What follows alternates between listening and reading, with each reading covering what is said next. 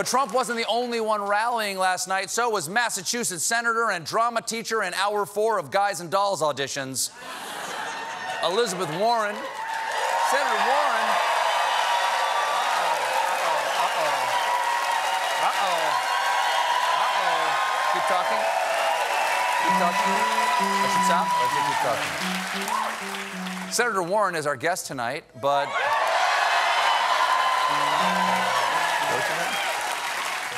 But last night, uh, she held a rally in New York's Washington Square Park, which drew a crowd of 20,000 people. Yeah, 20,000. 20,000. 20,000. Only 3,000 of which were there to score weed.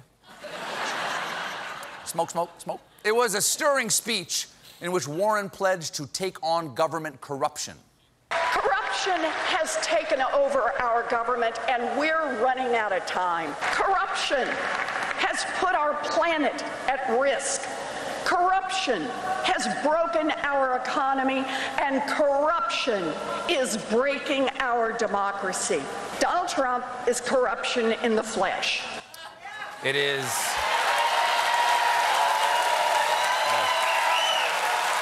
Bold words. Bold.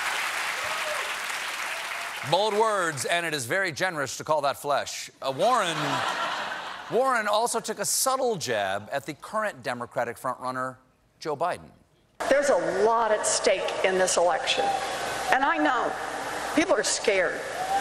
But we can't choose a candidate we don't believe in just because we're too scared to do anything else. And Democrats can't win if we're scared and looking backward. I am not afraid.